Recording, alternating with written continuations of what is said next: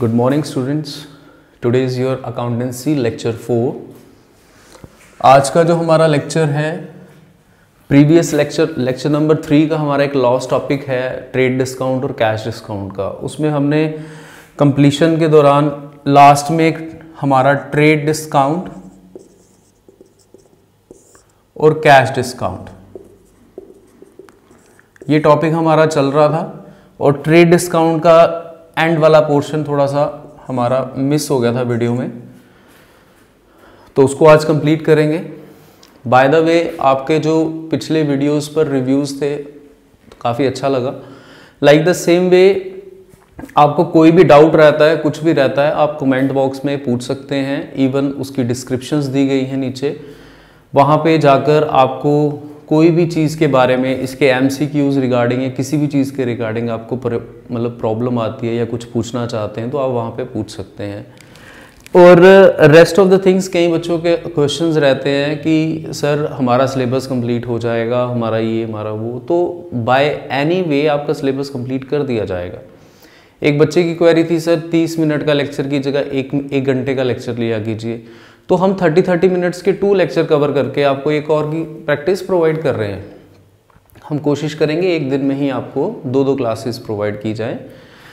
But one hour का lecture थोड़ा सा बोरिंग लेक्चर चला जाता है अदरवाइज़ हमें कोई इशू नहीं है एक घंटे की लेक्चर बनाने में भी।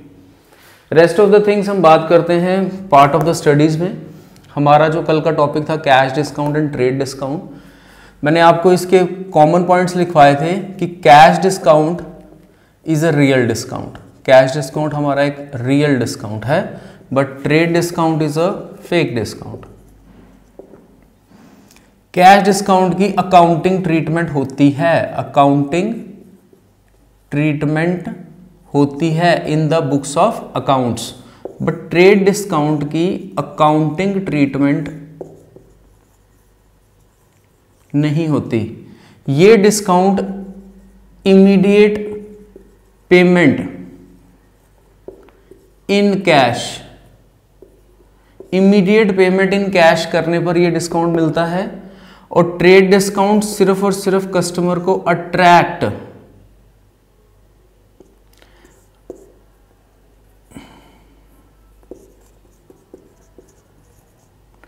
सिर्फ़ अट्रैक्ट टू कस्टमर करने के लिए ये बनता है। इस पर एट द एंड में एक छोटी सी एग्जांपल लेना चाहता था कि अगर आप किसी ऐसे शोरूम में चले जाएँ जहाँ पर लिखा होगा सेल 50 परसेंट प्लस 50 परसेंट तो it is not concluded it as 100 percent इसको हम 100 परसेंट कंक्लूड नहीं करते। ये कौन सा डिस्काउंट है? ये दोनों भी ट्रेड डिस्काउंट हैं। ये दोनों भी ट्रेड डिस्काउंट है। बेसिकली ये डिस्काउंट का क्या मीनिंग है? लेट सपोज़ वैल्यू दी गई है 2000 सेल प्राइस जो कैटलॉग प्राइस होता है जो आप कोई आ, कोई भी ब्रांड खरीदते हैं तो उसके ऊपर जो स्टिकर सा लगा होता है उसके ऊपर प्राइस होता है दैट कैटलॉग प्राइस लिखा होता है लेट सपोज़ 2000 का.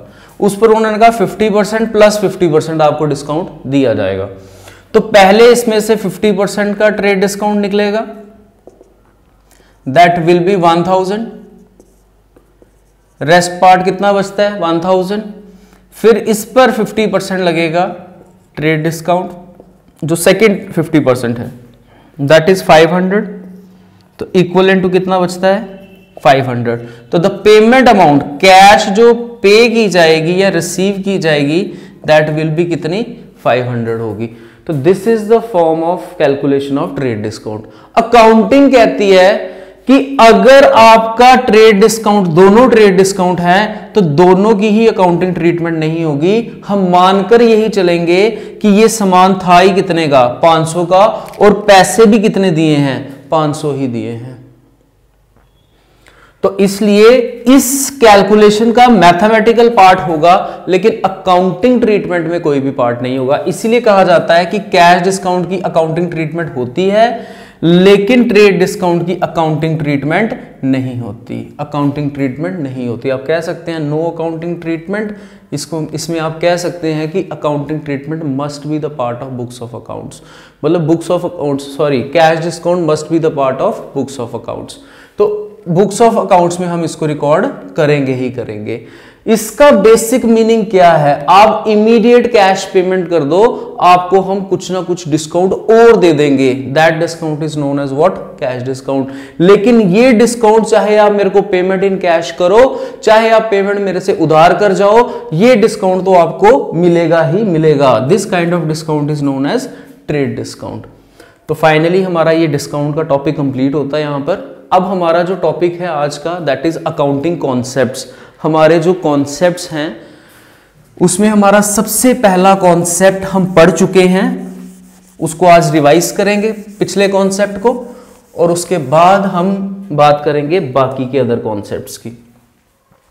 हमने जो कॉन्सेप्ट पढ़ा है, वो कॉन्सेप्ट पढ़ा है business entity B U S I N E W S entity concept हमने पढ़ा है बिज़नेस एंटिटी कॉन्सेप्ट इसमें हमने बोला था आपसे कि business is different and distinct from its owner कहने का मतलब बिज़नेस अलग है बिजनेसमैन अलग है, हमने जो अकाउंटिंग करनी है वो बिज़नेस की करनी है। This is known as business entity concept short form में ये बिजनेसमैन है और ये मेरा एक बिज़नेस है। ये जो मेरा बिज़नेस है, ये बिजनेसमैन दोनों अलग अलग हैं। मुझे अकाउंटिंग जो है, वो किसकी करनी है? बिज़नेस की करनी है। अकाउंटिंग जो करनी है, वो किसकी करनी है? बिज़नेस की करनी है। सेकंड कॉन्सेप्ट मेरा आता है पीरियोडिसिटी पीरियोडिसिटी कॉन्सेप्ट को हम अकाउंटिंग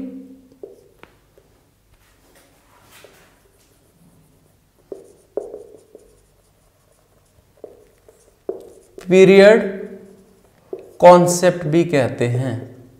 पीरियोडिसिटी कॉन्सेप्ट को अकाउंटिंग पीरियड कॉन्सेप्ट भी कहते हैं। पीरियड का यहाँ पे मतलब क्या है? पीरियड का मतलब है कितनी देर के बाद अकाउंटिंग की जाएगी।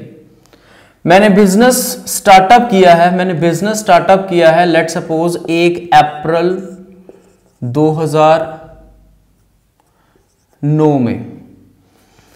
तो आज आ गई 31 बारह 2020 तो क्या मुझे अभी तक मैं अकाउंटिंग ना करूँ, चल जाएगा?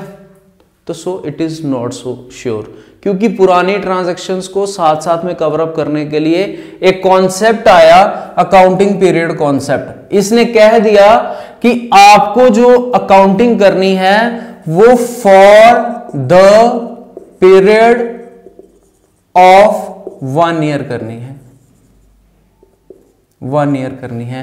That one year that one year may be financial calendar और festive to festive festive to festive का मतलब festival to festival like Diwali to Diwali Baisakhi to Baisakhi आप उस तरह से भी अगर अकाउंटिंग करना चाहें तो कर सकते हैं। इसका मतलब अगर एक अप्रैल को शुरू हो रहा है फाइनेंशियल ईयर एक अप्रैल को शुरू हो रहा है फाइनेंशियल ईयर तो ये ईयर कब खत्म होगा? 31 मार्च 2010 को। तो मुझे इस पीरियड की अकाउंटिंग जो है वो करनी है, पहले। फिर नेक्स्ट की, फिर नेक्स्ट की, फिर नेक्स्ट की। ऐसे ऐसे कहने का मतलब अकाउंटिंग पीरियड कॉन्सेप्ट ये कहता है कि मुझे जो पीरियड अकाउंट्स के अंदर कैलकुलेट करना है that is for one year and that one year may be financial year may be calendar year may be festival to festival और कैलेंडर ईयर का मतलब एज यू ऑल नोज़ एक जनवरी से आपका कैलेंडर शुरू होता है और 31 मार्च को आपका कैलेंडर खत्म हो रहा है। अच्छा क्वेश्चन यहाँ से एक एमसीक्यू बनता है, वो क्या बनता है? Zero nine two zero ten is a financial year is a calendar year तो सर, यहाँ तो ना ही दिया गया है दिसंबर, जनवरी, ना ही दिया गया है अप्रैल।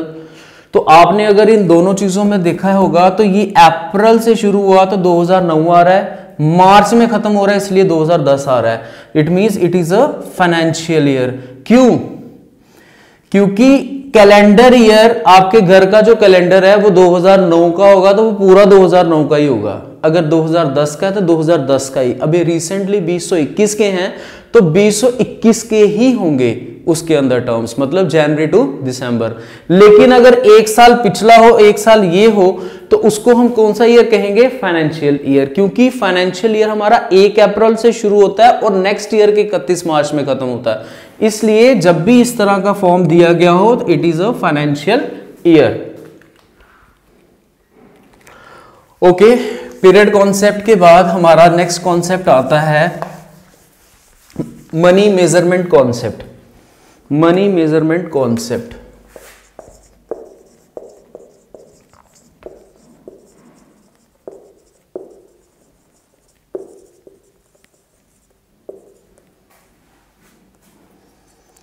money measurement concept का सिंपल मीनिंग है जो भी ट्रांजैक्शंस जो भी transactions T X N means transaction जो भी ट्रांजैक्शंस मनी में मेजर नहीं होंगी मनी में मेजर नहीं होंगी। उन ट्रांजैक्शंस को बिज़नेस के अंदर रिकॉर्ड नहीं किया जाएगा। रिकॉर्ड नहीं किया जाएगा। मतलब कहने का, जो ट्रांजैक्शंस मनी में मेजर हो जाएँगी मेजर हो जाएँगी मेजर हो जाएँगी, उनको रिकॉर्ड किया जाएगा। और जो ट्रांजैक्शन मनी में मेजर नहीं होंगी मेजर नहीं होंगी उनको बुक्स ऑफ़ अकाउंट्स में रिकॉर्ड भी नहीं किया जाएगा।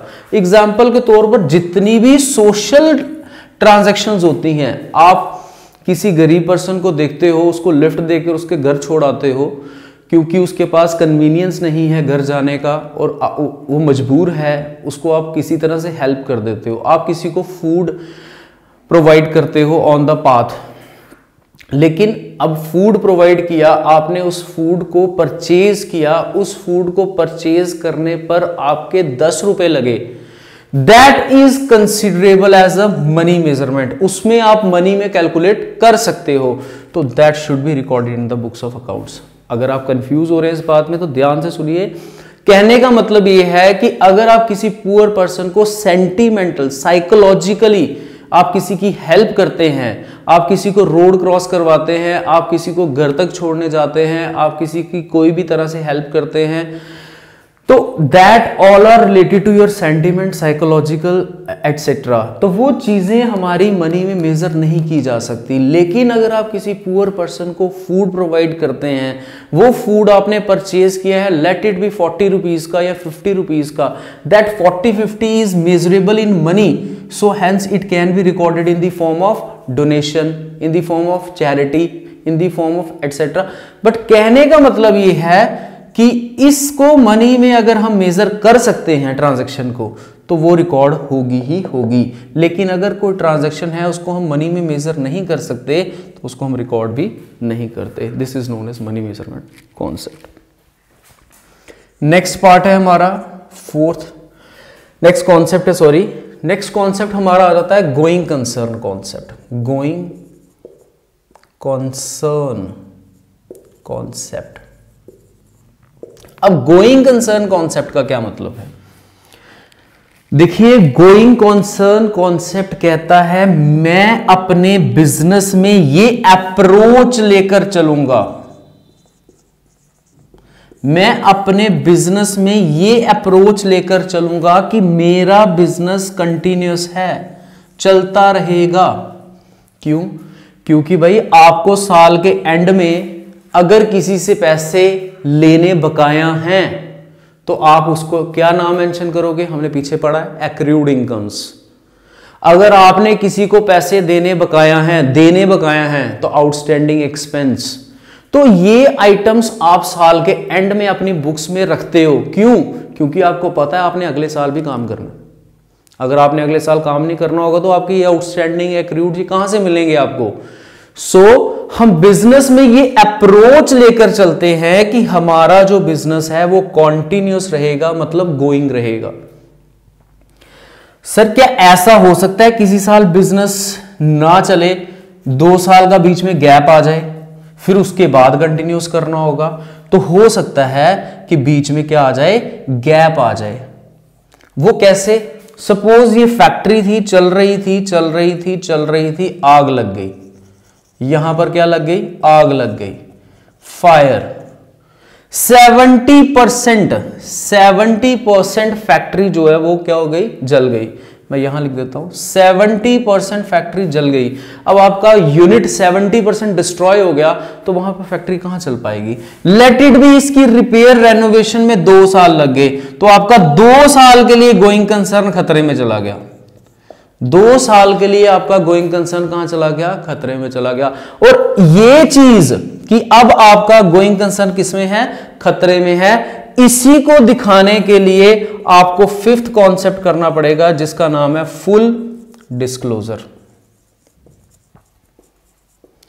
हमारी अकाउंटेंसी कहती है कि अगर कोई भी ज़रूरी चीज़ मैटीरियल चीज़, कोई भी ज़रूरी चीज़ आप अकाउंटिंग बुक्स में नहीं दिखा सकते। अकाउंटिंग बुक्स में नहीं दिखा सकते। तो उसका डिस्क्लोजर देना आपको ज़रूरी है। कहाँ पर? दैट इज़ अनेक्स्ड नोट्स में। अनेक्स्ड नोट मीन्स आपकी let it be wait for a while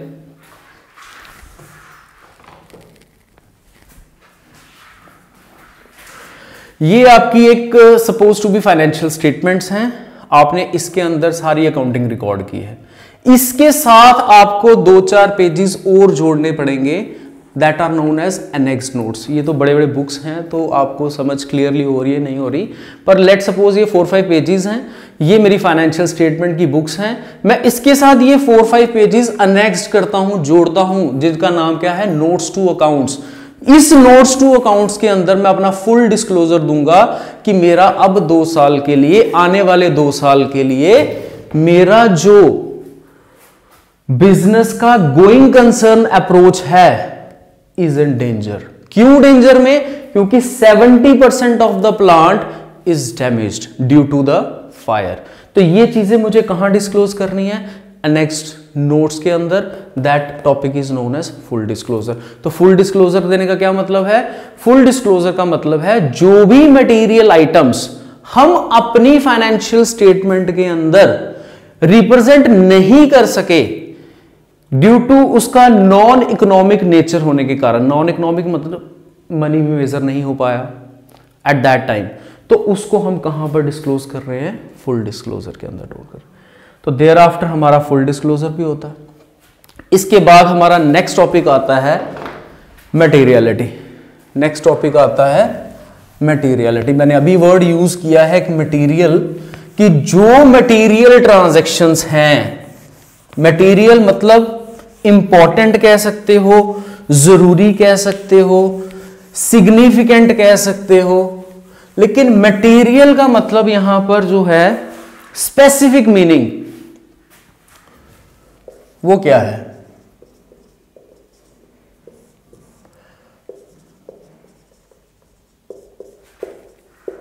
material transaction transaction मतलब मटेरियल ट्रांजैक्शन बिज़नेस में लेन देन होता है, दो पर्सन के बीच में, कोई ना कोई लेन देन हुआ होगा। अगर ये बिज़नेस अगर ये बिज़नेस की वर्थ करोड़ में है इस बिज़नेस की वर्थ करोड़ में है। इस बिज़नेस की वर्थ करोड़ में है। देन क्या होगा? देन क्या होगा? इन्होंने एक ट्रांजैक्शन की है suppose to be calculator purchase किया है। कैलकुलेटर परचेज किया है। भाई, ये कैलकुलेटर की वैल्यू कितनी है? Let suppose one thousand rupees इसकी वैल्यू है। वन थाउज़ेंड रुपीज़ इनकी वैल्यू है। अब मुझे बताओ कैलकुलेटर का use more than one year है? कैजुअली तो मोर देन वन ईयर ही होता है, अगर अच्छा कैलकुलेटर आप यूज़ करते हैं तो। अगर उसमें सेल वगैरह डालना पड़े तो that is secondary issue but most of the cases में आप कह सकते हैं कैलकुलेटर का use more than one year है। आप कहते हो, सर, कोई भी अगर आप चीज़ खरीद रहे हो, उसका use more than one year है तो वो हमारा क्या बन जाता है? एसेट अब मैं एक हज़ार रुपए का अपनी बुक्स में एसेट शो करूँगा।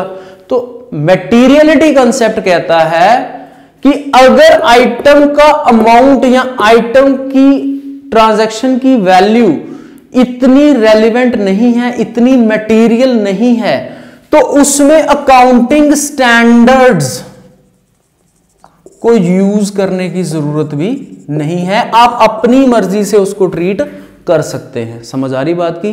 कि मैटीरियलिटी कहती है कि अगर इस ट्रांजैक्शन की वैल्यू इतनी ज़्यादा मटेरियल नहीं है तो आपको अकाउंटिंग स्टैंडर्ड्स को फॉलो करने की ज़रूरत नहीं है। अगर आप अकाउंटिंग स्टैंडर्ड्स को फॉलो नहीं करोगे तो आप अपनी मर्ज़ी से उसको ट्रीट कर सकते हैं, जहाँ आपको उसका रेलिवेंट पार्ट लगता है। मतलब कहने का कि मैं इसको एसेट ना मानकर सीधा खर्चे में डाल दूँ कि मेरा एक हज़ार रुपया क्या हो गया है? खर्चा हो गया है। ये मैंने अपनी मर्ज़ी से डाला है कि एक हज़ार क्या हो गया है? खर्चा हो गया। लेकिन इसकी प्रॉपर्टी कहती है कि अगर कोई भी आइटम हम परचेज करते हैं, जिसका बेनिफिट हमें मोर देन वन ईयर मिलता है तो उसको हम क्या कहते हैं? एसेट कहते हैं। लेकिन हम उस एसेट को ट्रीट ना करने की बजाय एक्सपेंस में ट्रीट कर रहे हैं, अपनी मर्ज़ी से अकाउंटिंग स्टैंडर्ड को फुलफिल ना करते हुए तो ये कॉन्सेप्ट हमें कौन सा कॉन्सेप्ट समझाता है? Materiality concept materiality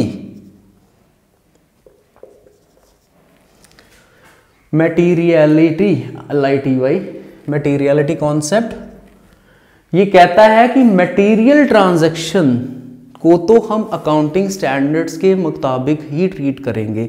अगर उसको एसेट कहा गया तो एसेट ही मानेंगे, उसको लाइबिलिटी माना गया लाइबिलिटी एक्सपेंस है तो एक्सपेंस इनकम है तो income whatever it may be उसको ऐसे ही ट्रीट किया जाएगा। लेकिन अगर that transaction is not so material to the business वो इतनी ज़्यादा मटेरियल नहीं है, उसकी वैल्यू इतनी ज़्यादा मटेरियल नहीं है तो हम उसको अपनी मर्ज़ी से भी ट्रीटमेंट कर सकते हैं। Hope so you can get कि मटेरियलिटी कॉन्सेप्ट क्या है। देयर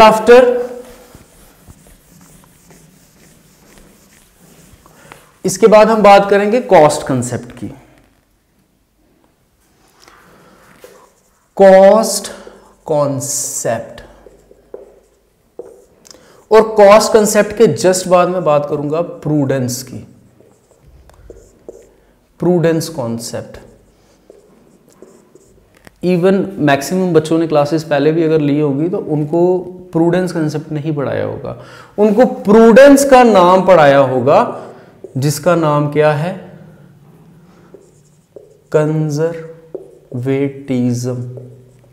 कॉन्सेप्ट इसको प्रूडेंस क्यों कहते हैं? वो बाद में बात करेंगे। पहले हम आते हैं कॉस्ट कॉन्सेप्ट पर। कॉस्ट कॉन्सेप्ट कहता है कि हमने परचेज प्राइस पर उसको रिकॉर्ड करना है। लेट सपोज़ हमने एक हज़ार रुपए की कोई आइटम खरीदी तो हम उसको अपनी बुक्स में कितने की रिकॉर्ड करेंगे? एक हज़ार की। तो सर इसमें क्या नया है? नया इसमें यह है कि सर मैं घर में आके ये बोल रहा हूँ कि मम्मा 2000 की चीज़ थी, मैं 1000 में खरीद के ले आया। अब क्वेश्चन अराइज होता है कि इसको 2000 में रिकॉर्ड करें या 1000 में रिकॉर्ड करें। तो हमारा कॉस्ट कंसेप्ट कहता है, जितने की खरीदी, जितने की हमें वो पड़ रही है, हम उतने की उसको रिकॉर्ड करेंगे। सर परचेज प्राइस हज़ार रुपया, उसको घर लाने का खर्चा सौ रुपया कैरेज दे दिया तो हमें वो ग्यारह सौ की पड़ी, हम उसको कितने की रिकॉर्ड करेंगे? ग्यारह सौ रुपए की रिकॉर्ड करेंगे। कहने का मतलब यह है कि हमें कॉस्ट ऑफ़ एक्विजिशन उसको एक्वायर करने के लिए कितना पैसा खर्च करना पड़ा है that cost of acquisition can be recorded in the books of accounts लेकिन वो वैल्यू 2000 की थी, वो चीज़ 8000 की थी, वो चीज़ 500 की थी दैट आर जस्ट इरेलीवेंट वो इरेलीवेंट है। इसलिए हम उसको किस पर रिकॉर्ड कर रहे हैं? कॉस्ट कॉन्सेप्ट के बेसिस पर कॉस्ट ऑफ़ एक्विजिशन पर। नेक्स्ट बात आ जाती है हमारी प्रूडेंस कंसेप्ट क्या कहता है यहाँ पर। अब कॉस्ट के अंदर एक चीज़ है छोटी सी कॉस्ट कंसेप्ट के अंदर एक चीज़ है। वो क्या है? कॉस्ट कंसेप्ट कहता है, अगर कोई स्टॉक आपके पास पड़ा है, अगर कोई स्टॉक आपके पास पड़ा है, आपने वो स्टॉक खरीद रखा है पचास हज़ार रुपए का लेट सपोज़ बट उसकी आज की fair market value fair market value रह गई है फोर्टी फाइव थाउज़ेंड तो भाई कॉस्ट कंसेप्ट ने क्या कहा? कॉस्ट कंसेप्ट ने क्या कहा? कि भाई पचास हज़ार का अगर खरीदा है तो मैं अपने कॉस्ट ऑफ़ एक्विजिशन मुझे पचास हज़ार पड़ी है तो मैं उसको कितने में रिकॉर्ड करूँगा? पचास हज़ार में। लेकिन फ्यूचर में तो घाटा दिख रहा है। फ्यूचर में क्या दिख रहा है? घाटा दिख रहा है। फेयर मार्केट वैल्यू उसकी कितनी आ रही है? पैंतालीस हज़ार आ रही है। ये जो पाँच हज़ार का हमें एंटीसिपेटेड लॉस दिख रहा है कंजर्वेटिज्म कॉन्सेप्ट ने कहा कि इस पाँच हज़ार के लॉस को आज ही रिकॉर्ड कर लो। All anticipated losses all anticipated losses को रिकॉर्ड करना है। रिकॉर्ड करना है, ऐसा किस कंसेप्ट ने कहा? कंजर्वेटिज्म ने कहा कि ऑल एंटीसिपेटेड लॉसेस को रिकॉर्ड करना है, लेकिन ऑल एंटीसिपेटेड प्रॉफिट्स हैं अगर प्रॉफिट्स हैं अगर तो उसको रिकॉर्ड नहीं करना, उसको रिकॉर्ड नहीं करना। All anticipated losses should be recorded but all anticipated profits और gain shall not be recorded record नहीं करेंगे। तो कहने का मतलब है अगर सर इसकी फेयर मार्केट वैल्यू 55,000 हो जाती तो फिर हमें इससे कोई लेना देना नहीं था। हम उसको कितने पे रखेंगे? पचास हज़ार पे रखेंगे। लेकिन अगर उसकी फेयर मार्केट वैल्यू कितनी हो गई? पैंतालीस हज़ार हो गई। तो हम कॉस्ट कंसेप्ट को ओवरकम कर देंगे किसके साथ? कंजर्वेटिज्म के साथ कि अब वो पचास नहीं रहा, अब वो कितना रह गया? पैंतालीस हज़ार। क्योंकि कंजर्वेटिज्म कहता है कि फ्यूचर में अगर लॉसेस होने वाले हैं तो उसको रिकॉर्ड कर लो। इसको कहते हैं, इस पूरे कंसेप्ट को कहते हैं to play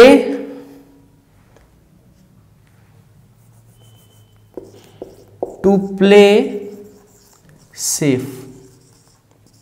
मतलब to play safe meanings prudence. To play safe means prudence. मतलब सेफ़ चलना है। सेफ़ कैसे चलना है? अगर नुकसान होने वाला उसको पहले रिकॉर्ड कर लो कि हम आगे आगे नुकसान हो भी जाए तो हमें ज़्यादा फ़र्क ना पड़े।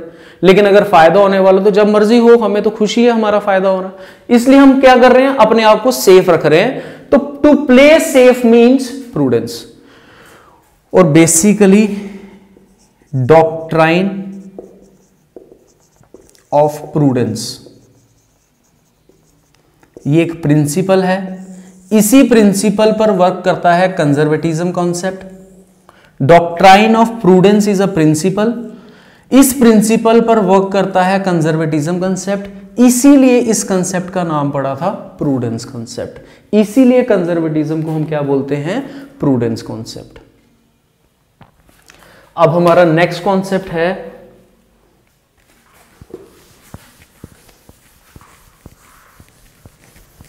एक छोटा सा कंसेप्ट ले लेते हैं कंसिस्टेंसी ले लेते हैं। ऐसे तो आपके अभी हमारे पास एक्रुअल कॉन्सेप्ट बचा है ड्यूअल एस्पेक्ट बचा है बट अभी कंसिस्टेंसी को ले रहा हूँ मैं।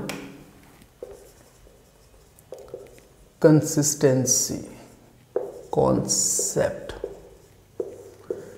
कंसिस्टेंसी का मीनिंग होता है कंसिस्टेंटली मतलब जो अकाउंटिंग पॉलिसी प्रोसीजर